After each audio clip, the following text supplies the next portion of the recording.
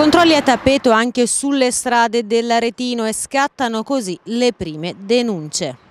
I controlli sono partiti dalle prime ore dall'attivazione delle misure da zona protetta. Molte le persone fermate e controllate dalle forze dell'ordine al fine di verificare il rispetto delle disposizioni che consentono gli spostamenti e la regolare applicazione dei dispositivi per contenere il contagio del coronavirus. In tutto 10 le persone sorprese dalle forze dell'ordine circolare liberamente sul territorio con autocertificazioni farlocche, ossia senza valide motivazioni. Tra questi anche un operaio quarantenne fermato e controllato alle tre di notte dai carabinieri nel comune di Terranuova Bracciolini. L'uomo aveva dichiarato di essere in transito per motivi lavorativi, ma l'azienda per la quale lavora a quell'ora di notte ovviamente era chiusa. Per lui e per tutti gli altri è scattata la denuncia. Gli spostamenti, ricordiamo, devono essere motivati attraverso l'autocertificazione da comprovate esigenze lavorative, situazioni di necessità ovvero per motivi di salute.